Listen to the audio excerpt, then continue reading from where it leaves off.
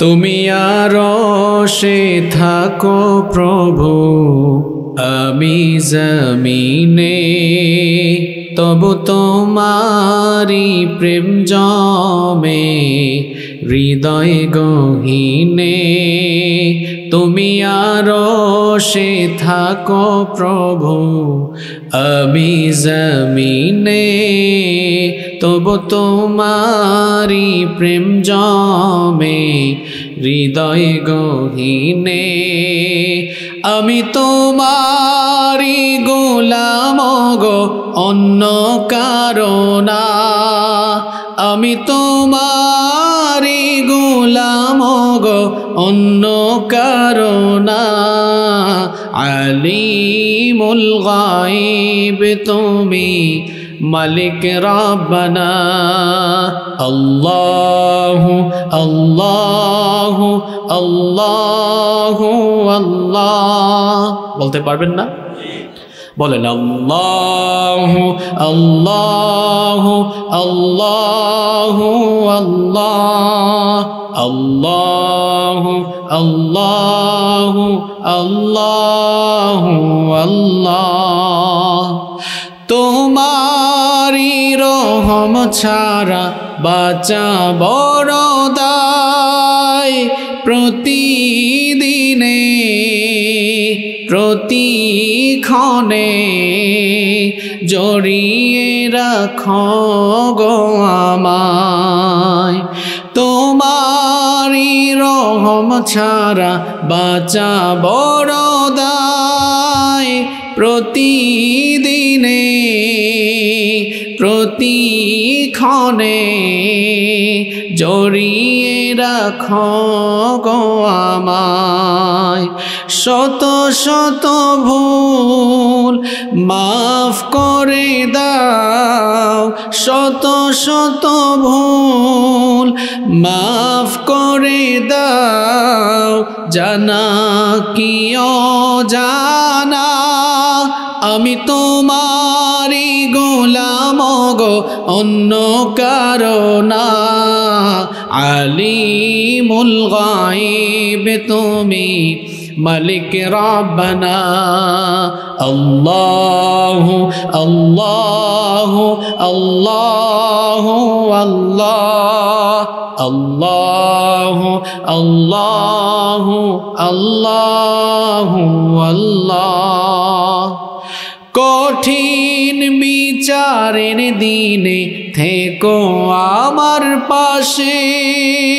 পাপের ভারে নুয়ে গেছি।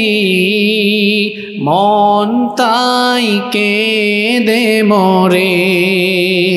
কঠিন বিচারের দিনে থেকো আমার পাশে।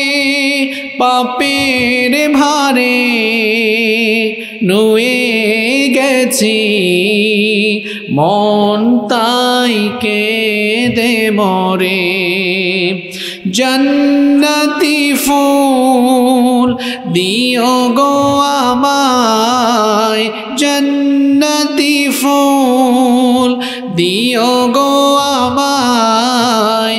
আগুনে ফেলে দিও না, আমি তোমারি গো, অন্য কারণা আলিমুল গাইব তুমি মালিক রব্বানা। আল্লাহ আল্লাহ আল্লাহ আল্লাহ। আল্লাহ আল্লাহ আল্লাহ আল্লাহ। তুমি আরও সে থাকো প্রভু। আমি জমিনে, তবু তোমারি প্রেম জমে, হৃদয় গহীনে। আমি তোমারি গোলাম গো, অন্য কারণা। আমি তোমারি গোলাম গো, অন্য কারণা। আলিমুল গাইব তুমি মালিক রব্বানা। আল্লাহ আল্লাহ আল্লাহ আল্লাহ। আল্লাহ আল্লাহ আল্লাহ আল্লাহ।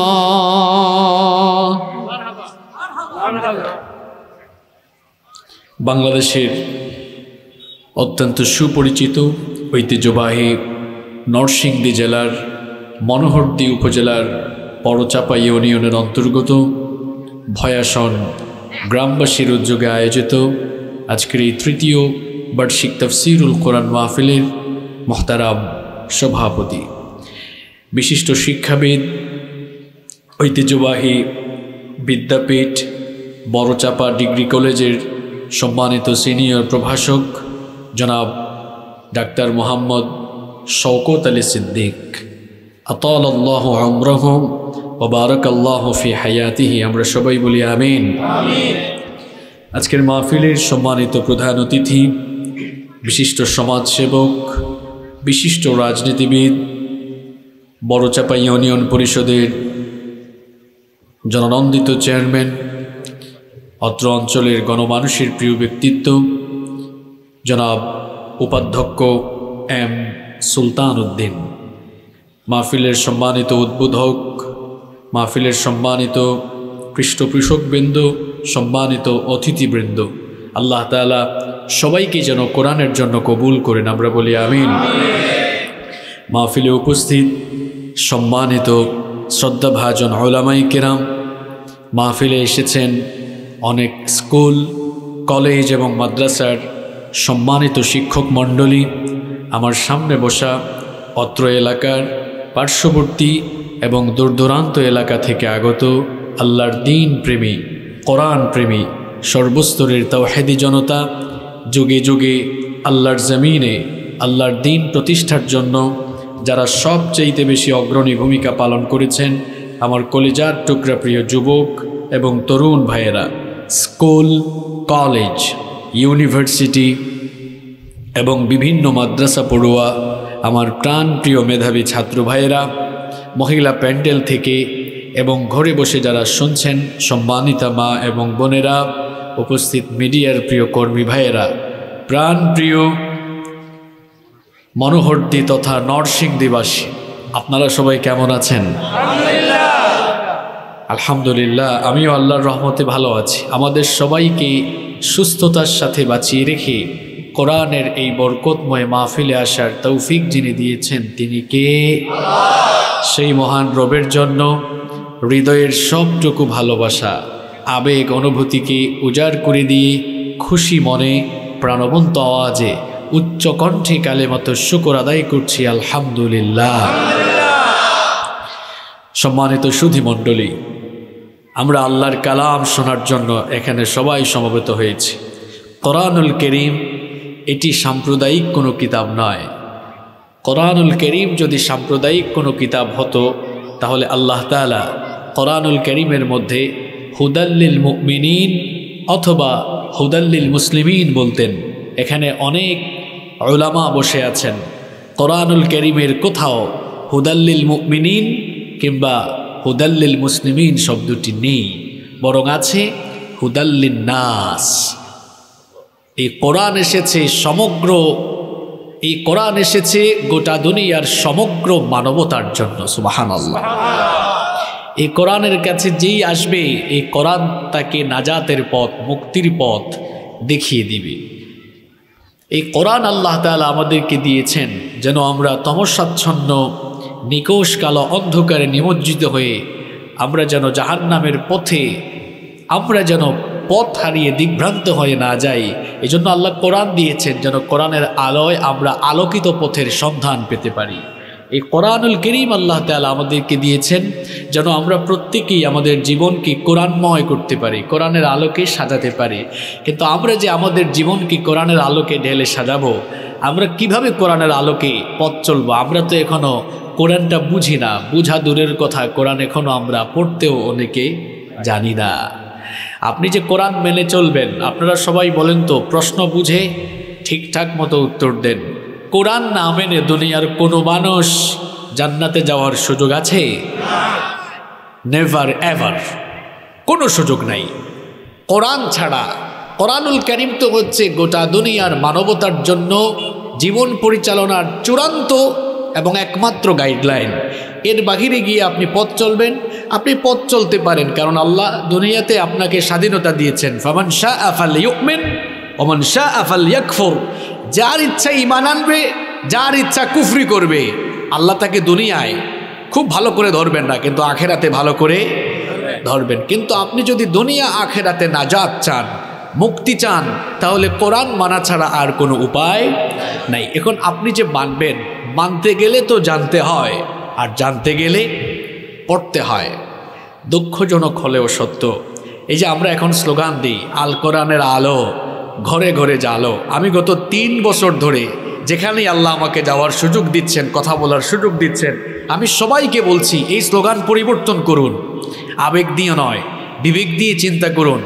এই স্লোগানটি পরিবর্তন করে এখনকার স্লোগান হওয়া উচিত, আল কোরআনের আলো ঘরে ঘরে নয়। প্রতিটি মানুষের হৃদয়ে হৃদয়ে জালো যদি মানুষের হৃদয়ে কোরআন ঢুকানো যায়, আলোকিত হৃদয়ের এই মানুষগুলোকে দিয়ে পরিবারে, সমাজে, রাষ্ট্রে, এমনকি এই পৃথিবীর প্রতিটি ইঞ্চি জমিনে জমিনে কোরআনের আলো প্রজ্বলিত হয়ে যাবে, এতে কোনো সন্দেহ নাই। আপনাকে সিস্টেম মোতাবেক আগাতে হবে। অথবা আপনি শুধু স্লোগান দিতে থাকবেন। অনেকে আবার খুব সুন্দর করে স্লোগান দেয়। তাদের এই স্লোগানকে বা এই আবেগকে আমরা রেসপেক্ট করি। কিন্তু আপনাকে সিস্টেম মোতাবেক যদি আপনি না আগান তাহলে আপনি সফল হতে পারবেন না। অনেকে বলে, আল কোরআনের আলো সংসদেও জ্বালো আপনি আগে মানুষের অন্তরে কোরআনের আলো জ্বালান। কারণ এই দেশের এখনও ম্যাক্সিমাম মুসলমান কোরআন বুঝা দূরের কথা। এখনও এরা শুদ্ধ করে কোরআনটা পড়তে পারে না। আর কোরআনের প্রতি মানুষের এত অনীহা কেন? কোরআনের প্রতি মানুষের এত অনীহা কেন? কোরআন শিক্ষার ব্যাপারে এত অবহেলা আমাদের মধ্যে কেন? আমরা কোরআনুল করিমকে এখন আমাদের লাইফের অপশনাল ম্যাটার বানিয়ে ফেলেছি। অথচ এই কোরআন আমাদের লাইফে আমাদের জন্য কম্পালসারি ম্যাটার হওয়া দরকার ছিল, বাধ্যতামূলক হওয়া দরকার ছিল। কিন্তু আমরা কোরআনকে এখন আমাদের লাইফের ঐচ্ছিক বিষয় বানিয়ে ফেলেছি। হয় কেন? কারণ হচ্ছে কোরআনুল করিমের গুরুত্ব আমরা এখনও বুঝি নাই। এর ভ্যালুটা আমরা অনেকে এখনও বুঝি নাই। কোরআনুল করিমকে আপনি কেমন কিতাব মনে করেন? অনেকে মনে করে, এটা শিখে আর কি হবে? এটা তো হুজুরদের কিতাব। এটা মোল্লাদের কিতাব। এটা মোল্লা মৌলভীর কিতাব। এটা আমাদের মতো আপডেটেড বা বিজ্ঞান মনস্ক মানুষদের জন্য এটা শেখা মানায় না। এজন্য দেখবেন খুব ভাবসাপ সব শিখে ফেলেছে। প্রমিত বাংলায় খুব চমৎকার করে কথা বলে। আবার ইংরেজিতেও খুব ভালো কথা বলতে পারে। কিন্তু কোরআন খুলে দেন সে পড়তে পারে না। আসলে কোরআনের গুরুত্ব, এই কিতাবের ভ্যালু এখনও সে বুঝতে পারেনি। মিয়া সাহ আপনি এই কিতাবকে কি মনে করেছেন? আপনি কি জানেন? আপনি কি জানেন এটি হচ্ছে এই কিতাবটা এমন কিতাব, এটা দুনিয়ার কোনো অফিস থেকে আসা কিতাব নয়। এই কিতাবের ভ্যালু আগে আপনি বুঝেন। এই কোরআনের গুরুত্ব এর মাহাত্ম এর স্ট্যাটাস এর ডিগনিটি আগে আপনি বুঝার চেষ্টা করেন। এটা দুনিয়ার কোনো ক্ষমতাধর ব্যক্তির অফিস থেকে আসা কিতাব নয়। এটা আমেরিকার হোয়াইট হাউস থেকে আসা কোনো কিতাব নয়। এটি এসেছে যেই মহান রবের দফতর থেকে তিনি কি? চিন্তা করেছেন? কত ভ্যালুয়েবল বুক কত মূল্যবান একটি কিতাব আপনার ঘরে আছে? এটা দুনিয়ার মানুষের লেখা নয়। কোরআনুল করিমের একটা লাইন, একটা শব্দ, একটা অক্ষর দুনিয়ার কোনো আলেম বানায় নাই, লিখে নাই। এটি এসেছে সরাসরি মহান রবের পক্ষ থেকে, আল্লাহ আকবার। এই কিতাব আপনার ঘরে, এজন্য আমি বলি, সোনার ঘনে আপনার কাছে থইয়া আপনি নকল সোনা তালাশের জন্য বের হইছেন, কপাল পোড়া। এই কোরআনটা, এই কোরআনের গুরুত্ব এখনও সে বুঝেনি। এটি হচ্ছে এমন কিতাব, Quran is a book, that is most read in this world. এটি পৃথিবীর একমাত্র বই।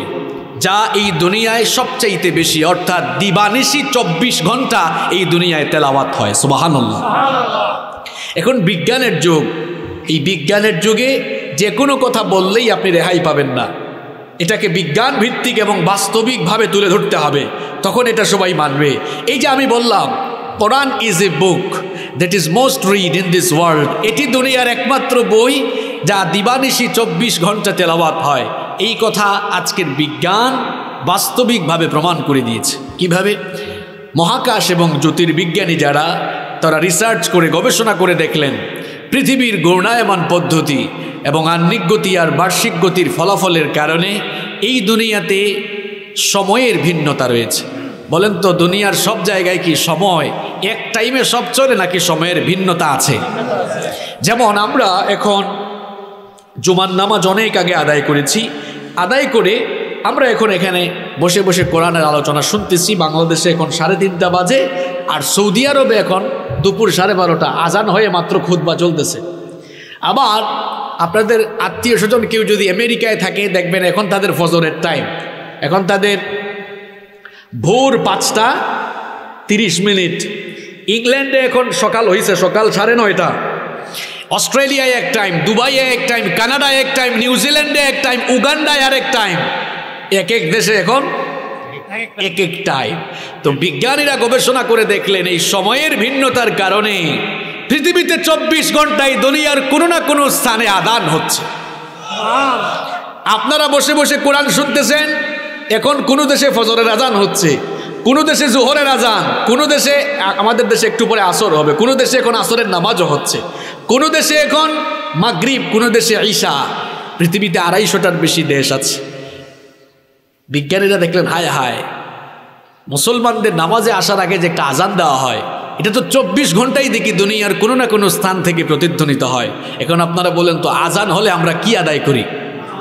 সবাই বলেন নামাজ এখন নামাজে যদি আপনাদের এলাকার মসজিদের ইমাম সাহেব আল্লাহ আকবার বলে নামাজ শুরু করার পর তিনি যদি বুখারি শরীফ থেকে তিলাবাত শুরু করেন আন আবি হুরাইরা রাদিয়াল্লাহু আনহু قال قال رسول الله صلى الله عليه وسلم মেনে নেবেন আপনারা একেবারে যেই লোকটা খুব সাধারণ মানুষ সেও জানে যে আল্লাহ আকবার বলার পর যে সুরা দিয়ে নামাজ শুরু করতে হয়, সুরাটির নাম সুরাতুল ফাতিহা। আর ওইটা হচ্ছে কোরআনেরই একটি সোরা। তাহলে আমরা যখন নামাজে দাঁড়াই, একটা বই থেকে আমরা তেলাবাদ করি। বইটার নাম কি? সবাই বলেন আল কোরআন তো বিজ্ঞানীরা গবেষণা করে দেখলেন এই আহ্নিক গতি আর বার্ষিক গতির ফলাফলের কারণে পৃথিবীর বিভিন্ন স্থানে সময়ের ভিন্নতা রয়েছে। আর এই সময়ের ভিন্নতার কারণে দিবানিশি চব্বিশ ঘণ্টা দুনিয়ার কোথাও না কোথাও আজান হয়। আজান হলে চব্বিশ ঘণ্টা মুসলমানরা নামাজও আদায় করে। আর নামাজের ভেতরে অন্য কোনো বইয়ের তালাবাদ চলে না। আল্লাহর কালামের তালাবাদ চলে। তার মানে দাঁড়ায় এই, পৃথিবীতে একমাত্র বই হচ্ছে আল্লাহর কোরআন। আপনি পড়লে পড়েন, না পড়লে নাই। দিবানিশি দিবানিশি চব্বিশ ঘণ্টা দুনিয়ার কোনো না কোনো কোনায় কানায় এই কিতাব আল্লাহর কিছু গোলামরা দিবানিশি চব্বিশ ঘণ্টা অনবরত তেলাবাদ করছে সোবাহান চিন্তা করেছেন, কোরআন ছাড়া দুনিয়াতে আর কোন বই আছে যা দিবানিশি অনবরত চব্বিশ ঘণ্টা তেলাবাদ হয়? আছে। আপনি কপাল পোড়া আপনি এখনও কোরআন, এটা কেমন কিতাব আপনি বুঝেন নাই? এটা এমন এক কিতাব, এটি দুনিয়ার একমাত্র কিতাব। Nobody has ever bother to read or heard the holy book Quran এই কোরআন যে পড়ে তেলাবাত করে, তার খারাপ লাগে না, বিরক্ত লাগে না। আবার যারা শুনে, তাদেরও কখনো বিরক্ত লাগে না। আপনাদের বিরক্ত লাগে? একটা গান যখন বের হয় ইয়াং জেনারেশনের যুবক তরুণরা দেখবেন, ওই গান কয়েকদিন শোনার পরে, তারপরে বলে এই গান, একই গান আর কয়বার শুনব? শুনতে শুনতে গানটা এখন পুরাতন লাগে, বিরক্ত লাগে। নতুন কোনো গান থাকলে সেটা বাজাও। কিন্তু আমরা প্রাপ্তবয়স্ক হওয়ার পর থেকেই মসজিদে যাই। মসজিদে গিয়ে আমরা নামাজ আদায় করি। প্রত্যেক দিন মসজিদে গিয়ে দেখি ইমাম সাহেব রেগুলার একটা সুরা দিয়ে নামাজ শুরু করেন। সুরাটার নাম হচ্ছে সৌরাতুল ফাতিহা। রেগুলার শুনতে শুনতে আমরা কেউ কখনো বিরক্ত হলাম না। কেউ কি কোনোদিন গিয়ে মসজিদে বলেছেন নাকি ইমাম সাহেব, আপনি কি আর কোনো সুরা পারেন না? রেগুলার কেন একটা সুরা দিয়ে নামাজ শুরু করেন? আপনি কি অন্য সুরা দিয়ে নামাজ শুরু করতে পারেন না? এই নরসিংদী এলাকায় কি কেউ কখনো বিরক্ত হয়ে মসজিদে গিয়ে ইমাম সাহেবের কাছে এমন আপত্তি করেছে নাকি? কোনোদিন করার কোনো সম্ভাবনা আছে নাকি? কি আর আপত্তি করবে? বরং আল্লাহর কালাম মানুষ যত শুনে ততই মানুষের কলিজা ঠান্ডা হয়ে যায়। একে কালেম এক এক কণ্ঠে আল্লাহর কালাম তেলাবাদ করে। কারও কারও কণ্ঠে, কারও কারও ভয়েসে আল্লাহ এমন সুধা ঢেলে দিয়েছেন। তারা যখন তাদের সুললিত কণ্ঠে আল্লাহর কালাম তেলাবাত করে, মানুষের হৃদয়টা শান্ত হয়ে যায়। বিশেষ করে আপনারা যারা হজ করেছেন হমরা করেছেন, হারামাইন শরীফাইনে আপনারা যারা নামাজ আদায় করেছেন, আপনারা দেখেছেন মক্কা, মদিনায় যখন নামাজ শুরু হয়ে যায়, বিশেষ করে মসজিদে হারামে যারা নামাজ আদায় করার সৌভাগ্য অর্জন করেছেন আপনারা দেখেছেন, সেখানে যখন তেলাবাদ শুরু হয়ে যায়, ইমাম সাহেবের পেছনে লক্ষ লক্ষ মুসল্লি থাকে। অনেক মুসল্লি আছে, অর্থ না বুঝেও চোখের পানি ঝড়ায় এইরকম চিত্র আছে না নাই? আল্লাহর রহমতে আমি অসংখ্যবার মসজিদে হারামে নামাজ আদায় করেছি। একবার এশার নামাজে ইমামতি করছেন ফদিলাতুল Sheikh doctor Abdur Rahman Sudais খুব সুললিত কণ্ঠে কোরআনের তেলাবাত করছেন। ইন্না জাহান্নামা কানাত মিরসাদা। সূরাতুন নাবার এই আয়াতগুলো তিনি তেলাওয়াত করছেন। তেলাওয়াত করতে করতে তিনি নিজেই কেঁদে ফেললেন। আমরা যারা অর্থ বুঝলাম, ওনার তেলাওয়াত শুনে আবেগে আমরাও চোখের পানি ছেড়ে দিলাম। ওই দিন আমার সাইডে দুই পাশে যারা নামাজে দাঁড়িয়েছিলেন, আমাদের বাংলাদেশি কিছু মানুষ আমার সঙ্গে তারা গিয়েছেন। এখন তাদের কান্নার আওয়াজও আমার কানে গেল। অনেকে চিৎকার করে করে কান্না করতেছে। নামাজ শেষে জিজ্ঞেস করলাম ইমাম সাহেব তো অর্থ বুঝেছেন জাহান নামের আয়াত তেলাওয়াত করার সময় তিনি কেঁদে ফেলেছেন। কিন্তু আপনি কি কোরআনের অর্থ বুঝেন? আপনি কাঁদলেন কেন? কই, হুজুর, অর্থ না বুঝলেও কি হবে? আল্লাহর কালামের এমন আবেগ, এমন আবেগময় তেলাওয়াত। অর্থ বুঝা লাগে না যখন ইমাম সাহেব এত আবেগ দিয়ে কোরআনের তেলাওয়াত করলেন। আমার কলিজা ঠান্ডা হয়ে চক্ষু থেকে পানি বের হয়েছে। এই চিত্র আছে? হজ অমরা করছেন কে কে? হাত তুলেন তো দেখি। অনেকে আছেন মাশা আল্লাহ হাত নামান। যা বললাম, অবাস্তব বলেছি নাকি ওখানে বাস্তবতা আছে? দেখেন, আল্লাহর কালাম শুনলে কারও বিরক্ত লাগে না, যে পড়ে তারও বিরক্ত লাগে না। বিরক্ত লাগা, দূরের কথা দেখেন, দিনের বেলা মানুষ কাজ কাম ভালাইয়া থুইয়া আল্লাহর কালামের আকর্ষণে সবাই ঘর থেকে বের হয়ে এসেছে। আল্লাহ আকবার। এটা আল্লাহর কালামের আকর্ষণ। অনেক জায়গায় বিরানি দিয়া, টাকা দিয়াও মানুষ জমা করা যায় না। কিন্তু আজ গোটা দেশে আপনারা দেখবেন, শুধু নরসিংদীতে নয়, গোটা দেশে আজ যেখানেই কোরআনের আওয়াজ, সেখানেই মানুষের গণজুয়ার। এই গণজুয়ার দেখে আজ নাস্তিক, মুরতাদ, বাম রামদের কলিজায় আগুন ধরে গিয়েছে। তারা এই গণজুয়ারকে রুখে দেওয়ার জন্য কোরআনের আওয়াজকে স্তব্ধ করে দেওয়ার জন্য প্ল্যান মাফিক তারা এগিয়ে যাচ্ছে। ষড়যন্ত্র চক্রান্তের নীল নকশা তারা করছে।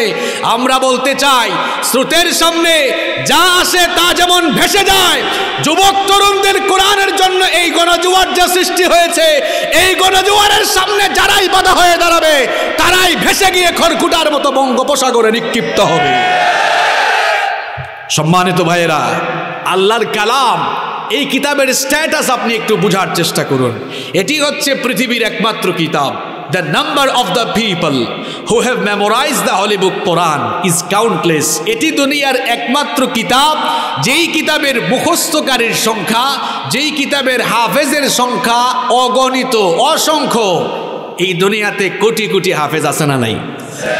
আমি দুনিয়ার কথা বাদ দিলাম, বাংলাদেশের কথা বাদ দিলাম নরসিংদী জেলার কথা আমি নরসিংদী ডিস্ট্রিক্টের কথা বাদ দিলাম, মনোহরদি গোটা উপজেলার কথা বাদ দিলাম। শুধুমাত্র আপনাদের ইউনিয়নে বলেন তো শত শত হাফেজ আছে না নাই? পৃথিবীর কোন বইয়ের এত হাফেজ পাবেন, এত মুখস্থকারী পাবেন? কিন্তু দেখবেন এলাকায় এলাকায় গেলে হাফেজের অভাব নাই। এই প্যান্ডেলেও মনে হয় অনেক হাফেজ আছে। আপনি গোটা বাংলাদেশে দেখবেন লক্ষ লক্ষ হাফেজ আছে। গোটা পৃথিবীতে হিসাব করলে কোটি কোটি হাফেজ আছে। তাওরাত, জাবুর এঞ্জেল বাইবেলের old testament, new testament, Ramayana, Gita জিন্দাভেস্তা পৃথিবীতে যতগুলো ধর্মীয় গ্রন্থ রয়েছে, অন্য কোনো বইয়ের এত হাফেজ নাই। বরং এই দুনিয়ায় আল্লাহর কোরআনের হাফেজ হচ্ছে সবচাইতে বেশি। এটাও একটা। এটাও আল্লাহর একটা স্পেশাল কুদরতি ব্যবস্থা কোরআনকে সংরক্ষণ করে রাখা। কেউ যদি বলে যে গোটা পৃথিবীর সমস্ত কোরআন একত্রিত করে জ্বালায় পোড়ায় দিব, শেষ কোরআন থাকবে না। আপনি না হয় জ্বালায় পোড়ায় দেখ কোরআনের প্রিন্টেড কপিগুলোকে পোড়ায় ছাই করে দিয়েছেন। কিন্তু বলেন, আমার হাফেজদের সিনার ভেতরে যে কোরআন রয়েছে, ওইটা আপনি কেমনে কেমনে জ্বালাবেন? সম্ভব এটা? এজন্য ওই হিন্দু লোকটাও কত সুন্দর গান লিখেছে। যদি আগুন লেগে ধ্বংস হয়ে, যায়। যদি আগুন লেগে যায়, পুড়ে যায়। পৃথিবীর সব বইয়ের দোকান বিশ্ব থেকে হারাবে না, বিশ্ব থেকে হারাবে না, পবিত্র কোরআন। করবে কেমন করে কোরআন? ধ্বংস আগুনের তেজ। করবে কেমন করে কোরআন ধ্বংস আগুনের তেজ? আছে বিশ্ব ভরা অগণিত কোরআনে হাফেজ। তারা ছাপায় আসমানি গ্রন্থ, তারা ছাপায় আসমানি গ্রন্থ, বাঁচাবে কোরআনের মান, বিশ্ব থেকে হারাবে না, বিশ্ব থেকে হারাবে না, পবিত্র কোরআন। এই কোরআনকে পৃথিবী থেকে মুছে দিতে কেউ পারবে না। বরং কোরআনের পথে যারাই বাধা হয়ে দাঁড়াবে, তারা ধ্বংস হয়ে ইতিহাস রাস্তা করে নিক্ষিপ্ত হবে। কোরআন ছিল, আছে, থাকবে। ইসলাম ছিল, ইসলাম আছে, ইসলাম থাকবে। মনে রাখবেন, ইসলাম আপনার কাছে দায়বদ্ধ নয়, বরং আপনার মতো লোক ইসলামের কাছে দায়বদ্ধ। আপনি ছাড়াও ইসলাম টিকে ছিল, এটা আছে, টিকে থাকবে। আপনি থাকলেই ইসলামের কি, আর না থাকলেই কি? অনেকে খুব ভাবসাপ নেয়। কই আমি যদি সাপোর্ট না দেই? এই যে বিভিন্ন জায়গায় মাহফিলে যুবক তরুণরা আরে মাহফিলের অনুমতি নেওয়ার জন্য হাঁটতে হাঁটতে জুতার তোলা ক্ষয় হয়ে যায়। কেউ কেউ আবার পার্ট নেয় কই আমরা যদি সাপোর্ট না দিই, সহযোগিতা না করি, করতে পারবা? এ বাটপার, ইসলাম তোর কাছে দায়বদ্ধ না, বরং তোর মতো বাটপাররা ইসলামের কাছে দায়বদ্ধ। ইসলাম দুনিয়ার কারও কাছে জিম্মি নয়। আপনি ছাড়াও ইসলাম ছিল, আছে, থাকবে, কিন্তু মনে রাখবেন ইসলাম ছাড়া আপনার দুনিয়া আখেরাত বরবাদ হয়ে যাবে। আপনি ইসলামের কাছে দায়বদ্ধ, আপনি ইসলামের কাছে আসলে লাভ আপনার। ইসলাম থেকে দূরে গেলে কপাল পুড়বে আপনার। আল্লাহ বুঝার তৌফিক দান করেন। বিজ্ঞানের যুগে বসবাস করে আপনি আল্লাহর কোরআন, এটাকে এখনও দূরে রেখেছেন। আপনার মনে এই চিন্তা যে এখন বিজ্ঞানের যুগ লেটেস্ট এই যুগে আপডেটেড সরি লেটেস্ট যুগে আপডেটেড এই যুগে ব্যাকডেটেড কিতাব যা মধ্যযুগে নাজিল হয়েছে, এটা আমি আর শিখে কী করব? এখন বিজ্ঞান ভিত্তিক বাস্তবিক যে কোনো জিনিস না হলে অনেকে গ্রহণ করতে চায় না। মনে রাখবেন there is no contradiction between the holy book Quran and science কোরআনের সাথে বিজ্ঞানের কোনো দ্বন্দ্ব নাই, বরং বিজ্ঞান যত উন্নত, সমৃদ্ধ আর বিকশিত হচ্ছে, আল্লাহর কোরআনের অলৌকিকতা ততই মানুষের কাছে প্রকাশিত হচ্ছে। সোবাহান আল্লাহ এই বিজ্ঞানের যুগে, আধুনিক বিজ্ঞানের যুগে বিজ্ঞান যে তথ্যগুলো বর্তমানে দুনিয়ার মানুষের সামনে তুলে ধরছে, আল্লাহর কালাম, আমার হাতে যে কিতাব আপনারা দেখছেন এই কোরআনে, সেই সাইন্টিফিক তথ্যগুলো আল্লাহ তালা বিজ্ঞান দিয়েছে এখন। কিংবা এক দুইশো বছর আগে। আর আল্লাহ এগুলো জানিয়েছেন, কোরআন নাজিল করে আরও দেড় হাজার বছর আগে। তা কোরআন আগে না বিজ্ঞান আগে? আমরা শুধু সুবান আল্লাহ কুইতে পারি, আল্লাহ আকবার, আর আলহামদুলিল্লাহ কুইতে পারি। কিন্তু যদি বলি, বের করেন বিজ্ঞানের আয়াতগুলা, পারবে না। পারবে কেমনে? এখন মুসলমান পড়াশোনায় নাই, গবেষণায় নাই, মুসলমানদেরকে আজ যান্ত্রিকতায় ওরা ডুবিয়ে রেখেছে। কথা বুঝেন নাই? এ যুবক, তরুণ ভাইয়েরা, স্কুল, কলেজের ভাইরা, শোনো, তোমরা যারা ইউনিভার্সিটিতে, কলেজে পড়ো, তোমরা চব্বিশ ঘণ্টার মধ্যে বারো ঘণ্টা এখন ফেসবুকিং করো। তোমরা যান্ত্রিকতায় মেতে উঠেছ। এই ফেসবুক যে অ্যাপস তুমি ব্যবহার করছ, যারা আবিষ্কার করেছে, তারা তোমার মতো সারাদিন প্রযুক্তিতে ডুবে থাকে না। তারা পড়াশোনা, গবেষণা করে করে ফেসবুক তো বের তারা আবিষ্কার করেছে, আর সামনে যে আরও কত কিছু তারা আবিষ্কার করবে, তারা মেধা খাটায়া ওখানে বসে ডলার গুনতেছে। তুমি এখানে ফেসবুক চালাও, আর তারা আমেরিকায় বসে, ইংল্যান্ডে, কানাডায় বসে বসে ট্রিলিয়ন ট্রিলিয়ন ডলার গুনে। পৃথিবীতে কায়িক শ্রম দিয়া মানুষ বেশি পয়সা কামাইতে পারবে না। মেধা দিয়ে এই পৃথিবীতে মানুষ বেশি বেশি পয়সা কামাচ্ছে। ওরা খেলা দেখে না, ওরা খেলায় আমাদেরকে দিয়া। একটা সময় শিক্ষা, শিল্প, সাহিত্য, সংস্কৃতি সব জায়গায় মুসলমানদের দখল ছিল। মুসলমানরা সব জায়গায় নেতৃত্ব দিয়েছে আর আজ সেই মুসলমানরা শিক্ষা, সাহিত্য, শিল্প, সংস্কৃতি সব জায়গা থেকে দূরে সরে এসে আজ মুসলমানরা অমুসলিমদের গুলামে পরিণত হয়েছে। ঠিক তো বললে, এ যুবক ভাইরা, তোমরা পড়াশোনা করো না কেন? তোমাদেরকে চার পাঁচ ঘণ্টা অপরাধ টেবিলে বসানো যায় না। তোমরা বারো ঘণ্টা, তেরো ঘণ্টা ফেসবুকিং করো। তোমাদের কেরিয়ার নষ্ট হয়ে যাচ্ছে। তোমরা এটা চিন্তাও করছ না। নাইন টেনে পড়ো ইন্টারমিডিয়েটে পড়ো। উচিত ছিল কমপক্ষে পাঁচ, ছয় ঘণ্টা পড়ার টেবিলে বসে থাকা। কিন্তু তুমি বারো ঘণ্টা ফেসবুকিং করো। তুমি পড়বা কোন সময়? পড়বা কোন সময়? আর তোমরা পড়াশোনা করছ শুধু পরীক্ষায় পাশ করার জন্য। সাজেশন পাইছো কিছু? এগুলো দেখ, কোনো মতে পাশ করতেছো, আর কেউ কেউ স্বপ্ন দেখতেছো, সোনার হরিণ চাকরি, পনেরো বিশ হাজার টাকার কোনো মতে একটা চাকরি পাইলেই হয়েছে। তোমার স্বপ্ন এত ছোট কেন? তোমার স্বপ্ন এত ছোট কেন? পড়াশোনার উদ্দেশ্য কি কেবল চাকর হওয়া, চাকরি করা? এত চাকরি কে দিবে তোমাকে? এত চাকরি তোমাকে কে দিবে? বরং নিজের স্বপ্নকে বড় করো, যার স্বপ্ন যত বড় তার জীবনে সফলতাও আসে তত বড়। বড় স্বপ্ন দেখতে শিখো, পৃথিবীতে কেউ হিরো হয়ে মায়ের পেট থেকে আসে নাই। প্রত্যেকেই জিরো হয়ে এসে এরপরে পরিশ্রম করে সে তার যোগ্যতাকে কাজে লাগিয়ে হিরো হয়েছে। পৃথিবীতে আমি বড় বড় ধনীদের কথা বাদ দিলাম, ওয়ারেন বাফেটের কথা বাদ দিলাম, বিল গেটসের কথা বাদ দিলাম। আমার দেশে এমন অনেক সফল মানুষ আছেন, এই যে পিএইচবির মিজান সাহেব, আকিজ গ্রুপের আকিজ। এরা কি মায়ের পেট থেকে ধনী হয়ে আসছে নাকি? শিল্পপতি হয়ে আসছে? প্রত্যেকেই, এই যে আকিদ সাহেব তো আমরা জানি আকিজের মাহফিলও তো আমরা গেলাম। আপনারাও জানেন সবাই যে উনি প্রথমে শুরু করেছেন ফেরিওয়ালার মতো, কমলা বিক্রি এইটা সেটা, বিক্রি করতেন হেঁটে হেঁটে। তার প্রতিষ্ঠান এখন কত বড় হয়েছে। পিএইচপির মিজান সাহেব, ওনার নিজের মুখেই তো অনেক সময় তরুণদের সামনে উনি ওনার সফলতার কথা শোনান। ওনাদের কিছু ছিল না, আজ ওনারা অনেক কিছু হয়ে গিয়েছেন। তরুণ ভাইয়েরা, যুবক ভাইয়েরা, ছাত্র ভাইয়েরা, তোমাদের কাছে কিছু নেই, কিন্তু তোমরা যদি পড়াশোনায় মনোযোগী হতে পারো, গবেষণায় মনোযোগী হতে পারো, আগামী দিনে জাতি সভ্যতা বিনির্মাণে তোমরা অনেক অবদান রাখতে পারবে ইনশাআল্লাহ। জন্য পড়ার টেবিলে ফিরে যাও। সবাইকে বলব, আল্লাহর কালামটা আগে শিখেন। এটা আপনি শিখতেছেন না। আপনি বলতেছেন, এটা বিজ্ঞানের যুগে, এই আগের যুগের কিতাব এটা কেন পড়ব? আমি তো বললাম, বিজ্ঞান এখন যা জানিয়েছে, কোরআন তা জানিয়েছে আরও দেড় হাজার বছর আগে। এখন এটা তো আপনাকে বের করতে হবে। বের করতে হলে পড়াশোনা, গবেষণা করতে হবে। পড়াশোনায় তো আমরা নাই। আপনি দেখেন আল্লাহর কালাম। এটা কতটা সাইন্টিফিক কতটা অথেন্টিক আপনি দেখেন। কতগুলো এক্সাম্পল দিতে পারব, তার তো কোনো হিসেব নেই। কারণ আমি আসলে কোরআন বিজ্ঞান নিয়ে পড়াশোনা করে আসা মানুষই। আল্লাহর কোরআনে ছয় হাজারের বেশি আয়াত আছে। তার মধ্যে প্রায় দেড় হাজার আয়াত রয়েছে কেবলমাত্র বিজ্ঞানের ব্যাপারে সোবাহান আল্লাহ দেখুন, এই পৃথিবীর সেই পৃথিবীর আকৃতি নিয়ে বিজ্ঞান এক এক সময় এক এক কথা বলে রীতিমতো মানুষের সঙ্গে তামাশা করেছে। প্রাচীনকালের বিজ্ঞানীরা বলতেন, পৃথিবী মনে হয় চ্যাপ্টা অথবা সমতল। এরপরে পনেরোশো সাতানব্বই সালে ফ্রান্সিস ড্রেক, এখন দু হাজার বাইশ সাল, তাই না? পনেরোশো সাতানব্বই সালে ফ্রান্সিস ড্রেক জলপথে পরিভ্রমণ করে ঘুরে তিনি বললেন, আসলে প্রাচীনকালের আগের যুগের বিজ্ঞানীরা যে বলেছেন, পৃথিবী চ্যাপ্টা বা সমতল, এদের দেওয়া এই তত্ত্ব ভুল, পৃথিবী আসলে গোল। আপনারা বলেন তো, পৃথিবী কি গোল?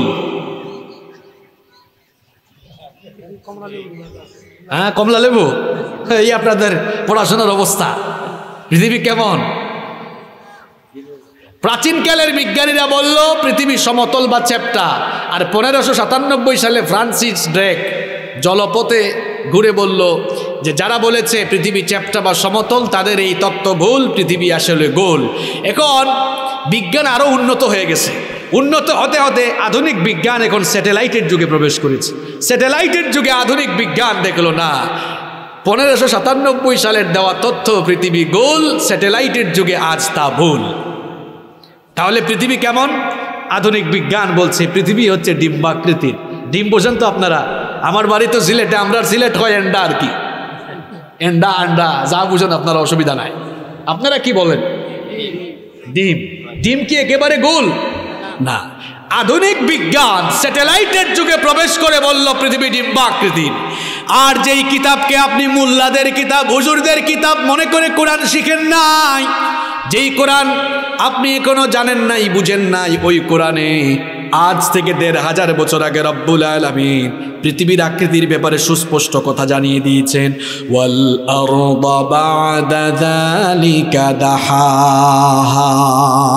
ওলামাই কেরাম বসে আছেন এখানে।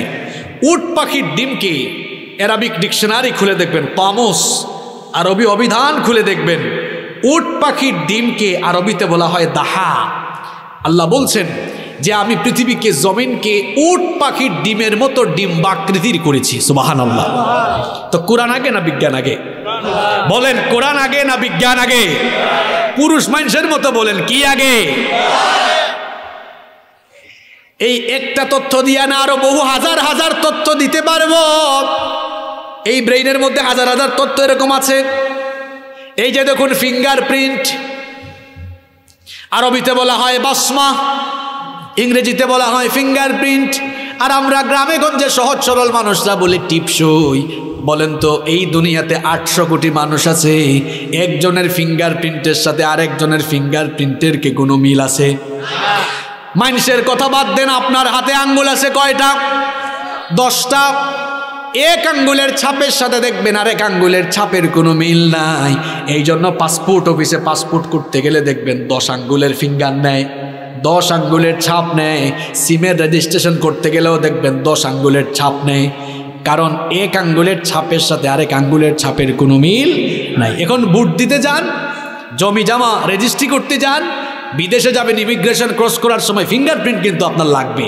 কারণ ফিঙ্গারপ্রিন্ট আপনারটার সাথে আরেকজনের মিল নাই। এখন তো দু হাজার বাইশ সাল। শোনেন ভাইয়েরা, আঠারোশো সালের আগে এই পৃথিবীর কেউ জানতো না ফিঙ্গারপ্রিন্ট নামে একটা জিনিস আছে। ইংল্যান্ডে সর্বপ্রথম এই তথ্য আবিষ্কার হয়। আঠারোশো ছাপ্পান্ন সালে ব্রিটিশ বিজ্ঞানী উইলিয়াম হার্সাল মানব দেহের উপরে গবেষণা চালিয়ে তিনি এই তথ্য সর্বপ্রথম দুনিয়ার মানুষকে জানান। আঠারোশো ছাপ্পান্ন আর দুই খুব বেশি সময় হয়ে গেছে, তাই না? দুইশো বছরও হয় নাই। এই ফিঙ্গারপ্রিন্টের অজানা তথ্য, কারিশমাটিক এই তথ্য, যেই বিজ্ঞান নিয়ে আপনি ফুটানি করেন, এই বিজ্ঞান দিয়েছে মাত্র একশো পঞ্চাশ থেকে একশো ষাট বছর আগে। কিন্তু আপনার ঘরে থাকা আল্লাহর কিতাবে, কোরআনের ভেতরে এই সাইন্টিফিক তথ্য আল্লাহ আরও দেড় হাজার বছর আগে দিয়েছেন কোরআনুল করিমের পঁচাত্তর নম্বর সুরা, সুরাতুল কিয়ামা তিন নম্বর আয়াতটা আপনি খুলে দেখুন। আল্লাহ তালা বলেছেন আয়াহসাবু আল্লান নাজমা ইজামা বালা কাদিরিনা আলা আন নুসাউইয়া বানানা এই দুনিয়ায় অনেক মানুষ আছে যারা মৃত্যু পরবর্তী জীবনকে অস্বীকার করে। তারা বলে, আমরা যখন মরে যাব, মারা যাওয়ার পর যখন আমাদেরকে দাফন করা হবে, আমরা যখন মাটির সঙ্গে মিশে যাব, আমাদের দেহ যখন ছিন্ন বিচ্ছিন্ন হয়ে যাবে অঙ্গ প্রত্যঙ্গগুলো যখন পচে গলে আলাদা আলাদা হয়ে যাবে। আমাদের শরীরের হাড্ডি, মাংস অস্থিপিঞ্জর যখন ছিন্ন বিচ্ছিন্ন হয়ে আলাদা হয়ে যাবে, কে আবার এগুলোকে জোড়া লাগিয়ে আমাদেরকে জিন্দা করবে? এমন দাবিদার যারা, এমন যুক্তি যারা পেশ করে আল্লাহ তাদের জবাব দিয়ে বলেছেন, বান্দা, শোন, আমি কেবল তোর ছিন্ন বিচ্ছিন্ন হয়ে যাওয়া অস্থিপিঞ্জর হাড্ডি, মাংসগুলোকে জোড়া লাগিয়ে একত্রিত করব না। বরং বান্দারে, আমার কুদ্রতের ব্যাপারে তুমি জেনে নাও। বালা কদিরিনা আলা আন্নু সাউইয়া বানানা আমি তো তোমার ছিন্ন বিচ্ছিন্ন হওয়া অঙ্গ প্রত্যঙ্গগুলোকে জোড়া লাগাবই। তার পাশাপাশি তোমাদের প্রত্যেকের হাতের আঙ্গুলের যে মাথা রয়েছে, এই আঙ্গুলের ছাপগুলো পর্যন্ত আবার একত্রিত করে জিন্দা করব। তাহলে বলেন, কোরআন আগে না বিজ্ঞান আগে? সূর্য ঘুরে না পৃথিবী ঘুরে? বিজ্ঞান বছরের পর বছর, শতাব্দীর পর শতাব্দী খালি কিলাকিলি আর গুতাগুতি করল? প্রাচীনকালের বিজ্ঞানীরা বলল, প্রথমে টলেমি বলল, না, পৃথিবী স্থির, পৃথিবীকে কেন্দ্র করে সূর্য ঘুরে। এরপরে পনেরোশো বারো সালে নিকোলাস কুপারনিকাস এসে বলল, এই টলেমি ভুয়া, যা বলছে সব ভুল। আসলে পৃথিবীও ঘুরে, সূর্যও ঘুরে, তোমার মাথা ঘুরে, আমার মাথা ঘুরে, সব ঘুরে। মাত্র পাঁচশো বছর আগে বিজ্ঞান যে ঘোরাঘুরি সমস্যার সমাধান দিল, যেই কিতাবকে আপনি মোল্লা মৌলবীদের কিতাব মনে করেন, যেই কিতাবকে আপনি তুচ্ছ তাচ্ছিল্য করেন, ইংরেজি ভাষা শিখলেন, ইংরেজি ভাষা শেখার জন্য আয়েলস করলেন জিয়ারি করলেন, ছয় মাস এক বছরের কোর্স করলেন, অথচ আল্লাহর কোরআন শেখার সময় হলো না। যেই কোরআনকে আপনি ব্যাকডেটেড কিতাব মনে করেন আর এই ঘোরাঘুরি সমস্যার সমাধান আপনার বিজ্ঞান দিয়েছে পাঁচশো বছর আগে, আর আমার আল্লাহর কোরআন দিয়েছে আরও দেড় হাজার বছর আগে। আল্লাহর কোরআন খুলে দেখেন।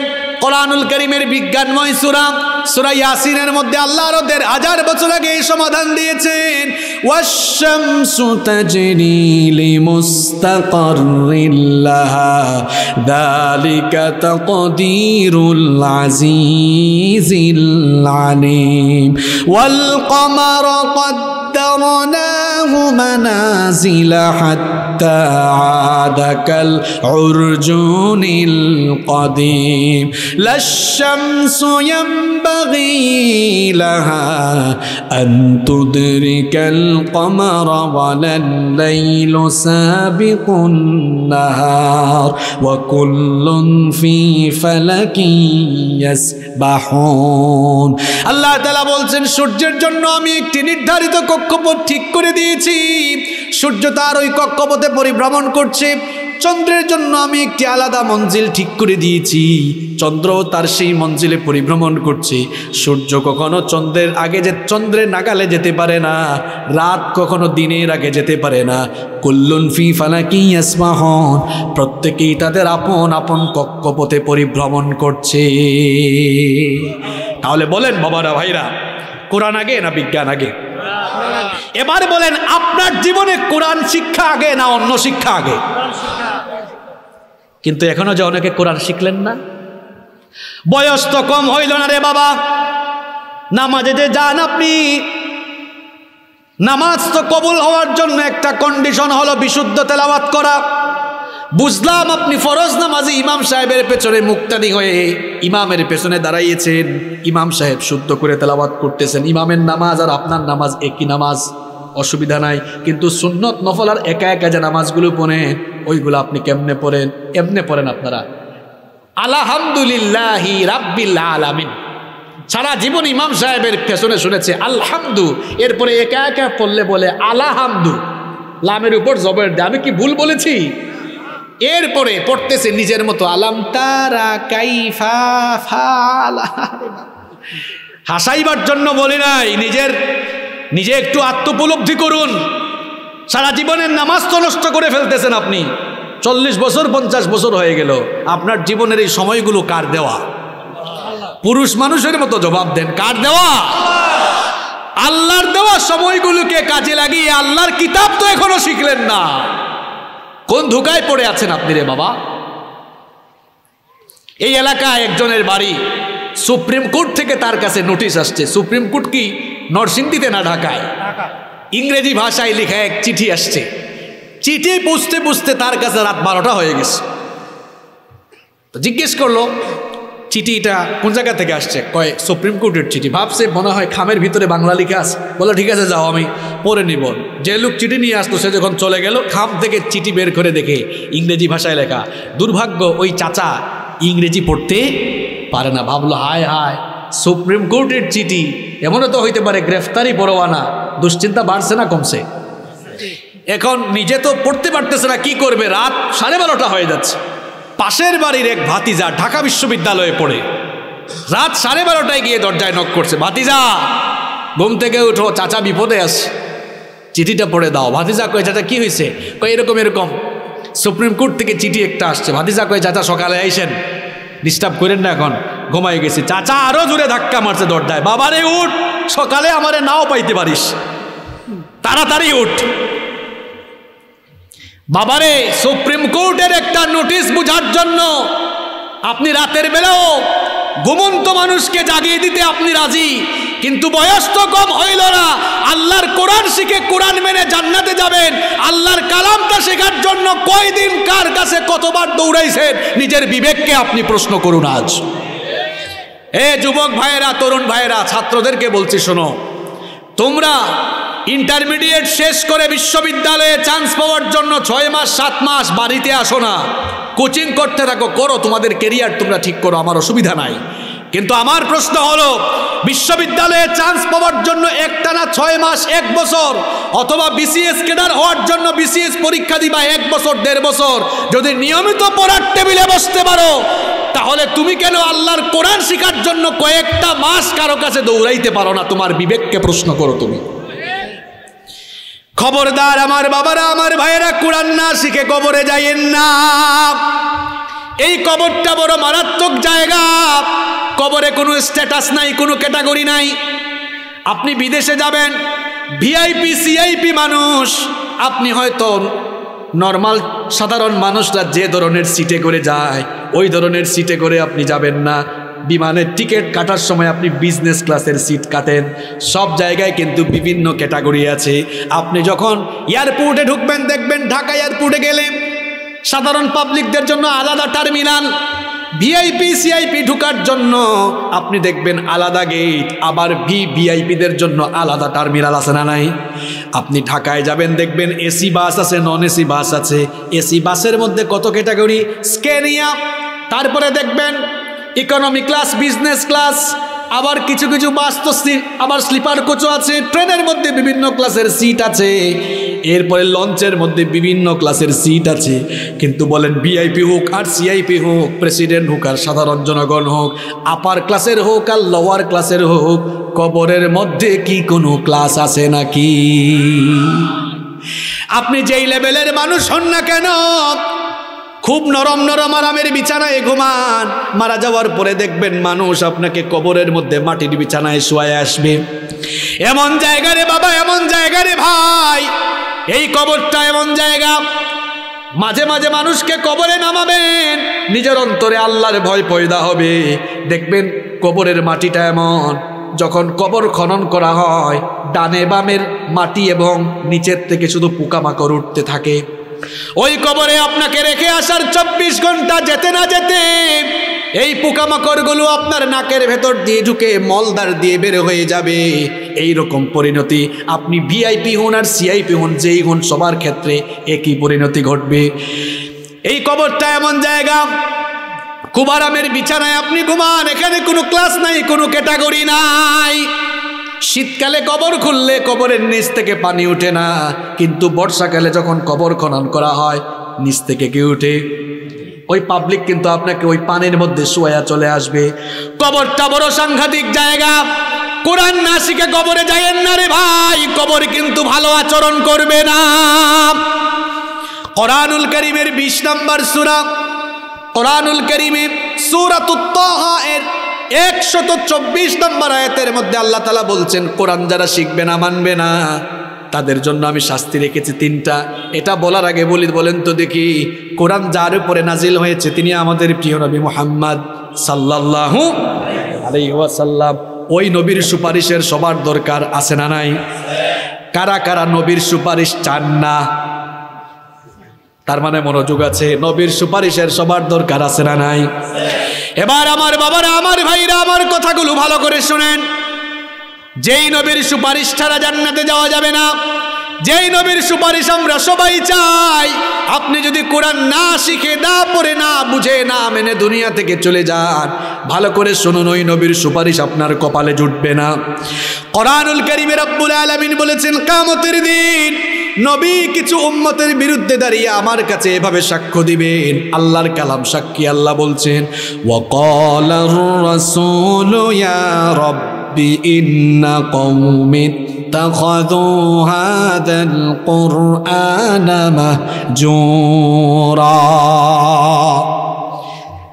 আল্লাহ তালা বলছেন শোনেন ভালো করে শুনে যান কথাগুলো ও কল আর রসুল রসুল সেদিন বলবেন ইয়া রব্বি হে আমার রব, ইন্না কৌম ইত্তাখাদু হাদাল কুরআন মাহজুরা। আমার কৌমের আমার উম্মতের এই লোকগুলো কোরআন থেকে মুখ ফিরিয়ে নিয়েছিল। তাদের জীবন থেকে কোরআনকে মাইনাস পড়ি ত্যাগ করেছিল। কোরআনেরা পড়ে নাই, শিখে নাই, বুঝে নাই মানে নাই। আল্লাহ গো, আজ আমিও এই কপাল পোড়াদের কাছ থেকে আমার মুখ ফিরাইয়া নিলাম কে আর আপনার জন্য সুপারিশ করবে? কে আর আপনার পক্ষে দাঁড়াবে? আপনার জীবন কোথায় আপনি নষ্ট করছেন? এখনও কোরআন শিখলেন না? এ যুবক ভাইয়েরা, কোথায় সময় নষ্ট করছে? এখনও কোরআন শেখনি তুমি? শুধু নবী আপনার কাছ থেকে মুখ ফেরাবেন না, স্বয়ং রব্বুল আলমিন আপনার কাছ থেকে মুখ ফেরাইয়া নিবেন। এর একশো চব্বিশ নম্বর আয়াত থেকে বাড়িতে গিয়ে আয়াতগুলো সুন্দর করে মিলাবেন। হুজুর কিন্তু বানায় বানায় না, ভালো করে গিয়ে আয়াতগুলোর তফসির, বিভিন্ন তফসির থেকে নেবেন। আল্লাহ বলছেন কোরআন থেকে যারা মুখ ফিরিয়ে নিবে, কোরআন যারা শিখবে না, পড়বে না, বুঝবে না, মানবে না, দুনিয়া আর আখেরাতে আমি তাদের জন্য শাস্তি রেখেছি। টোটাল তিনটা। জুড়ে কন কয়টা? ভালো করে শোনেন, আল্লাহ তালা বলছেন, ওয়ামান আন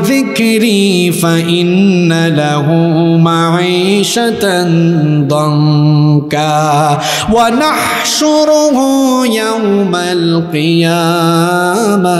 আ আল্লাহ তালা বলছেন, যারা আমার উপদেশ সম্বলিত এই কিতাব থেকে মুখ ফিরিয়ে নিবে, এই কোরআন যারা শিখবে না, বুঝবে না, মানবে না আমি তাদের জন্য তাদের জীবনটাকে আমি সংকীর্ণ করে দিব। মুফাসসিরিনে কেরাম এই মাঈশাতান দনকার ব্যাখ্যায় দুটো অর্থ দিয়েছেন। তারা বলেছেন এক নম্বর অর্থ হলো ওই লোকগুলোর দুনিয়াবি জীবনকে আল্লাহ এমন সংকীর্ণ করবেন যারা কোরআন শিখবে না পড়বে না বুঝবে না মানবে না। ওই লোকগুলোর জীবন থেকে সুখ শান্তি আল্লাহ কেড়ে নেবেন। বলেন তো সুখ শান্তি দেওয়ার মালিক কে? টাকা পয়সা ক্ষমতা দিয়ে সুখ শান্তি কেনা যায়? না। এমন বহু টাকাওয়ালা, পয়সাওয়ালা মানুষ আমরা দেখেছি রাতের বেলা ঘুমাইতে পারে না।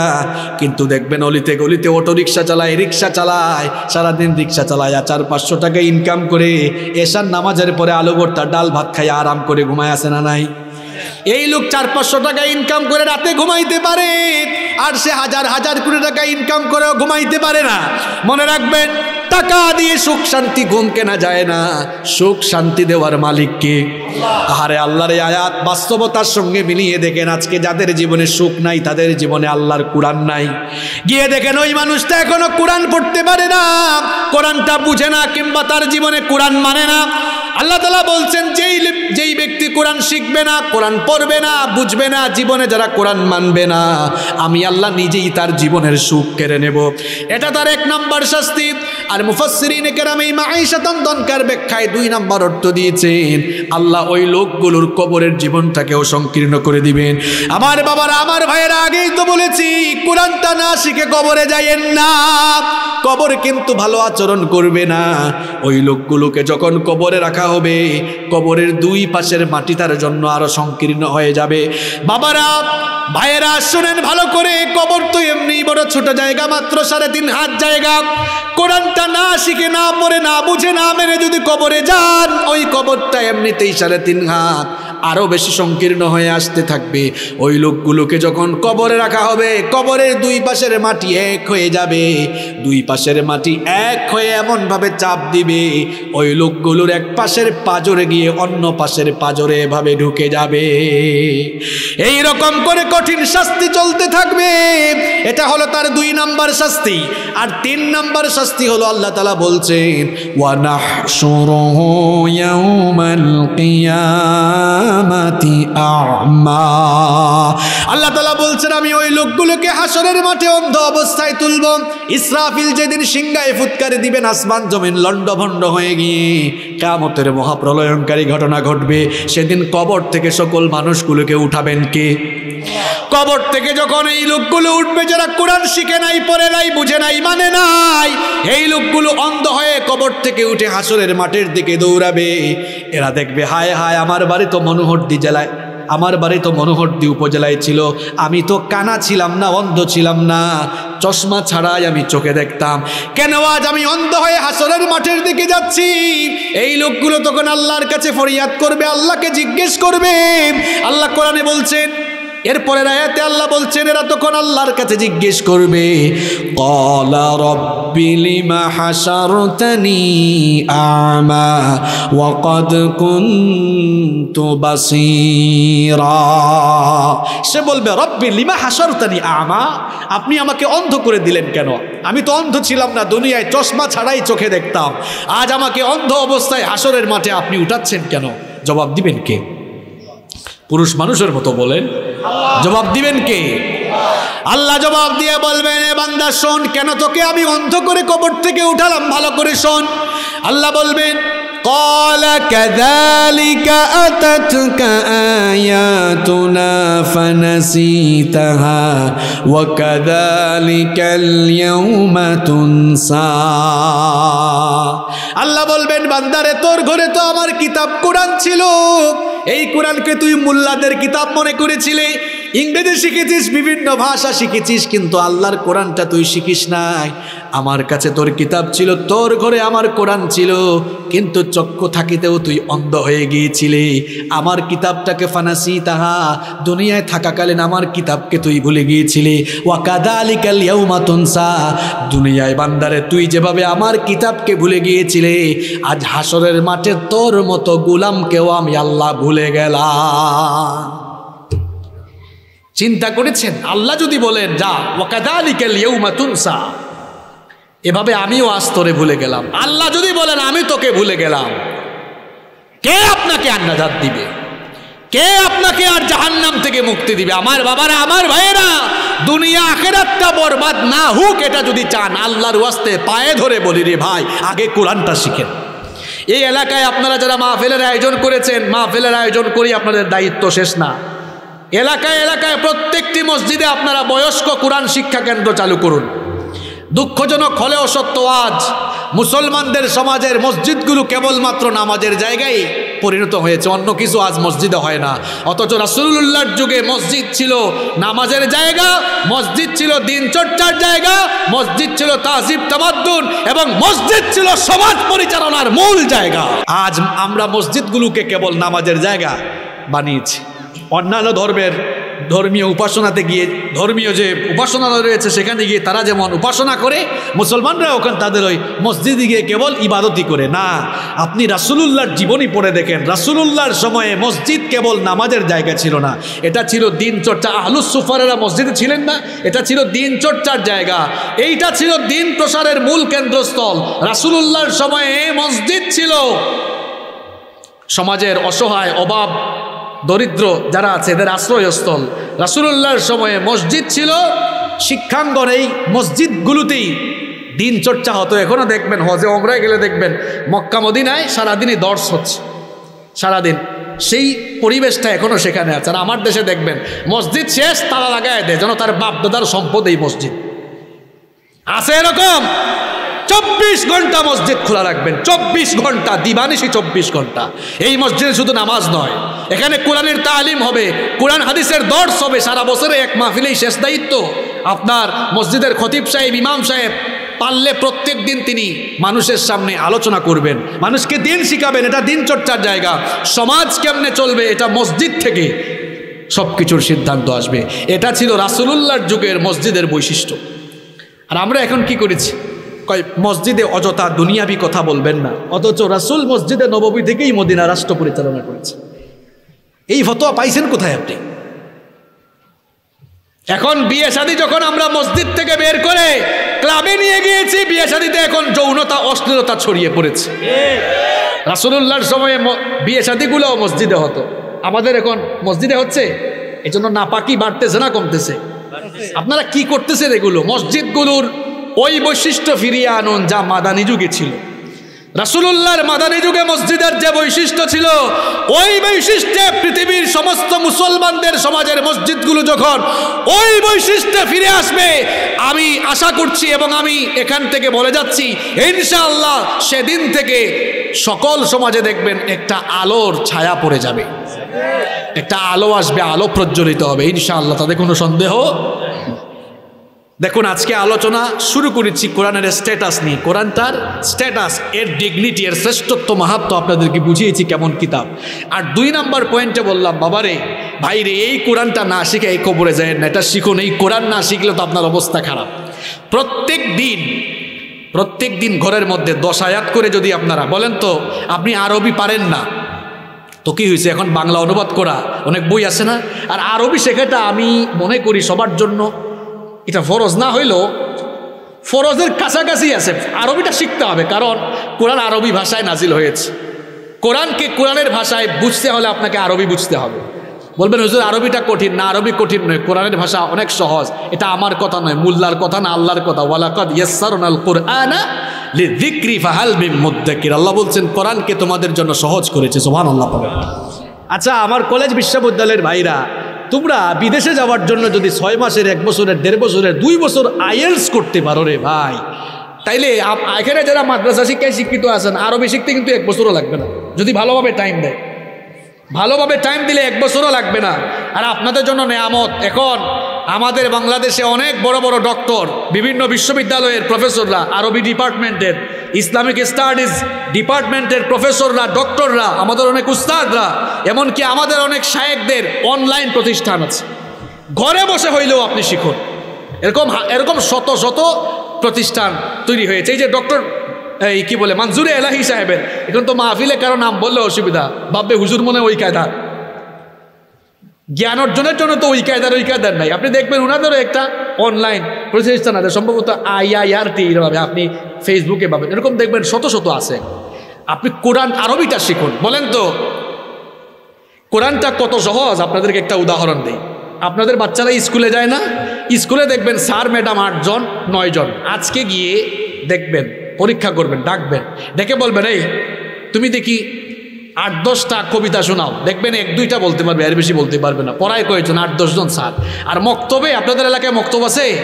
একজন হুজুর পড়ান। কয়জন হুজুর? এক হুজুর তিন, চারশো বাচ্চাকে পড়ান। ডেকে বলবেন, দেখি, মক্তবের হুজুরের কাছে গিয়া কি শিখছো? সুরা পারো? দেখবেন অন্তত পক্ষে সুরা তাকাসুর থেকে নাচ পর্যন্ত সব মুখস্থ শোনাই ফেলবে। এটা সহজ না হইলে সে মুখস্থ করতে পারতো?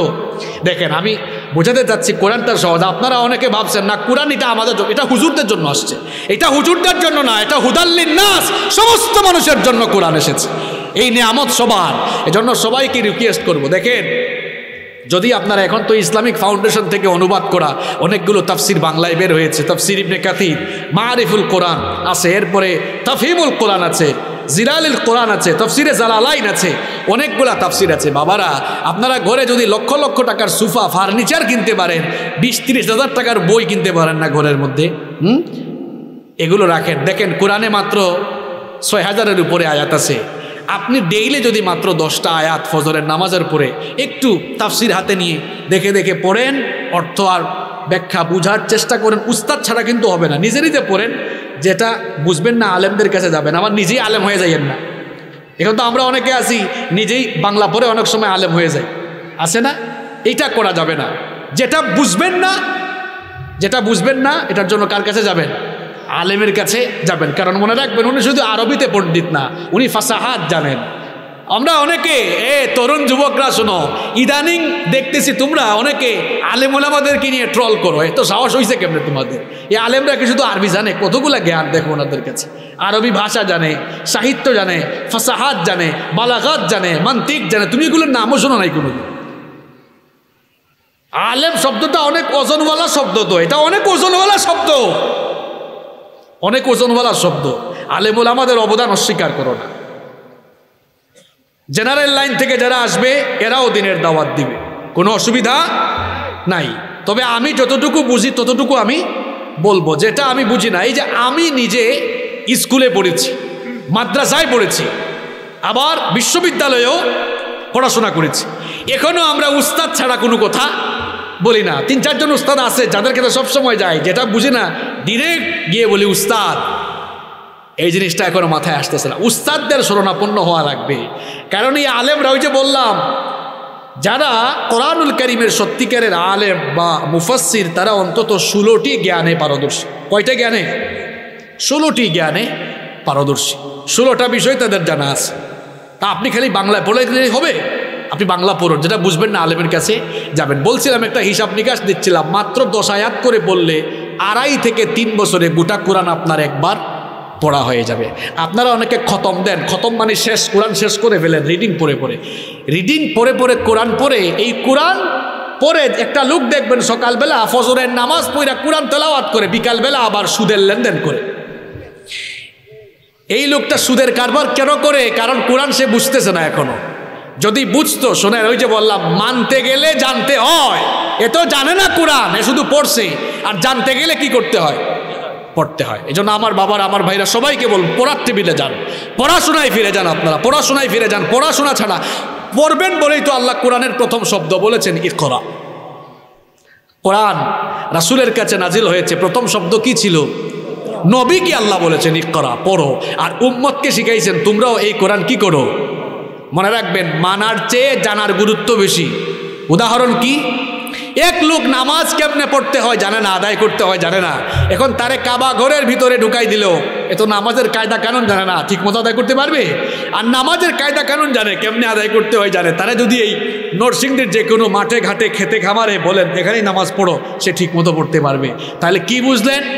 মানার চাইতে জানার গুরুত্বটা হচ্ছে বেশি, এই জন্য আল্লাহ কোরআন নাজিল করেছেন, প্রথম শব্দ বলেছেন ই করা আজকের এই মাহফিল থেকে আমি যুবক ভাইদেরকে, তরুণ ভাইদেরকে, ছাত্র ভাইদেরকে বলব, প্রত্যেক দিন তোমরা যারা কলেজ বিশ্ববিদ্যালয়ে পড়ো, তোমাদের সিলেবাসে তো কোরআন নাই, হাদিস নাই, এখন ইসলাম তোমরা জানবা কেমনে, দিন চর্চা কেমনে করবা, তোমার বুক শেলফের মধ্যে একাডেমিক বই থাকবে, আবার কোরআন, হাদিস, আর রাসুলের সিরাতের একটা বইও যেন, এখানে আসরের নামাজ হবে, কেউ আপনারা উঠবেন না। এখানেই আসরের নামাজ হবে ইনশাল্লাহ আমি বলছিলাম, প্রত্যেকের একাডেমিক বইয়ের সাথে কোরআন, হাদিস আর সিরাত থাকবে। আচ্ছা আপনি কেমন মুসলমান হইলেন? যে কোরআনটা আপনি আপনার এত বছরের জীবনে যদি একবার না পড়ে যাইতে পারেন, আল্লাহ যদি বলেন কিরে তোরে এত লম্বা হায়াত দিলাম, একবার তো কোরআন, বুঝে শুনে একবার। অত তো বুঝে শুনে না পড়েন, অর্থসহ তো একবার পড়া উচিত ছিল। এটার ভিতরে কি আছে? জানা দরকার আছে না নাই? অনেক মধু আছে ভাই কোরআনে, অনেক মধু। আপনি যদি এই মধু আহরণ করতে জানেন, কোরআনের জন্য আপনি পাগল হয়ে যাবেন। পাগল হয়ে যাবেন আপনি। কোরআনের এই মধু আপনি আহরণ করুন। দুই নাম্বার, আরেকটা কথা বলে যাই আজকে। বাবারা, বললাম তো এখানে অনেকের মনে হয় লুঙ্গিতে ডিস্টার্ব নাকি? এরা উঠে কেন তাইলে? অজুর জন্য বাবার সময় দেওয়া হবে, বসেন। সময় দেওয়া হবে। আচ্ছা আরেকটা কথা বলছিলাম। যেই নবীর উম্মত আমরা, এই নবীকেও তো জানলাম না। নবীকে যে মানবেন, ওই যে বললাম, মানতে গেলে জানতে হয়। জানতে গেলে আমি যদি বলি, নবীর সিরাত, নবীজির জীবনী একবার হইল পুরাটা পড়ছেন কে কে, কয়েকটা হাত উঠবে, বেশি উঠবে না। এ যুবক ভাইরা, নবীজির জীবনে নিয়ে অসংখ্য বই বাজারে আছে। অন্তত ছোট ছোট বইগুলা পড়ো। যেমন পৃথিবী বিখ্যাত একটা বই, এটা সিরাতের কম্পিটিশনে ফার্স্ট হয়েছে। আর রাহিকুল মাখতুম, লিখে নিয়ে যাও। যুবকরা লিখে দিয়ে যাও।